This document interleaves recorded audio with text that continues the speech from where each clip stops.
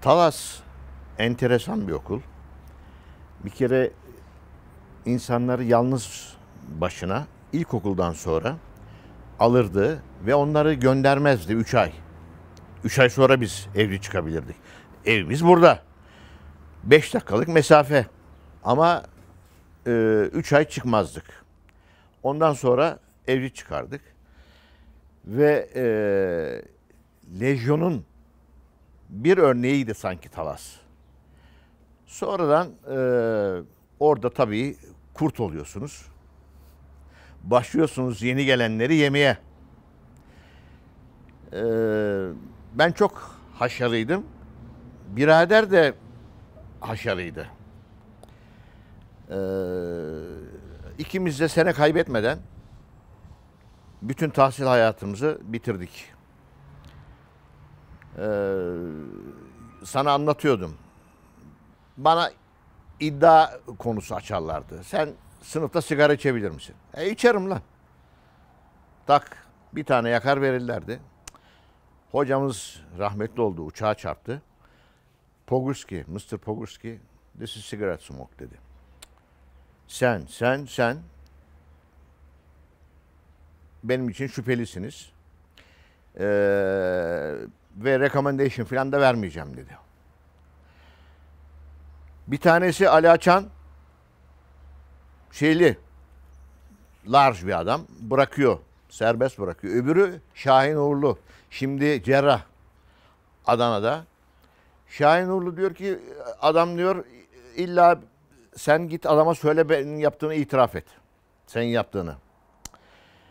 Adam da bir şey yap dedi. Biz gece evine gittik. Yatıkhanenin yanında onların evleri vardı. Gece ondan sonra kapıyı çaldım eve gittim. Bir de baktım disipline beni çağırdılar. Adam disipline vermiş. Üç gün tart. Yok bilmem işte termoforu atabilir misin? Hilmi'ydi. Yurtbaşçı hocası. Gazete okuyor. Adam bir korkuyla irkildi. Tak diye termofor gazeteye geldi. Adam önümden kilidi alıp bana vurmaya uğraşınca ben de iki kolunu tuttum adamın. Ya kardeşim dedi nedir sizden çektiğim? Aşağıda kardeşin, yukarıda sen. O da birinci sınıf.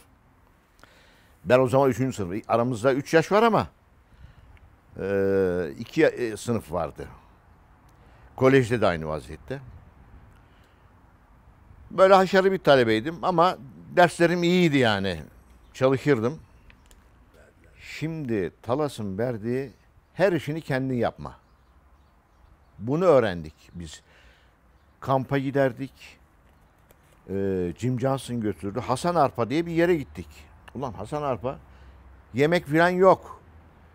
Ha nasıl yiyeceğiz? Mr. Johnson e dedi kocaman nehir var dedi burada dedi balık tutulur dedi. Onu yiyeceğiz tabii ki dedi. Ben de dedi sabah kahvaltısına pancake yapacağım dedi. Onu da sabahleyin yiyeceğiz dedi. Biz abi aç kalmayalım diye oltaları aldık. Solucanlar şeyde illa o Hasan Arpa'dan nehirden balık tuttuk ya. Yani kolej insanlara e, insan olmayı öğretirdi.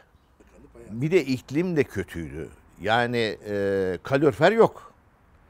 Buz gibi hava. Ve illaki fanilayı çıkartırdın yatmadan. Muayene olurdu. Gece pijamanın içinde fanile koyuyor musun koymuyor musun diye. Ondan sonra e, buz gibi sınıflar soba yakılır.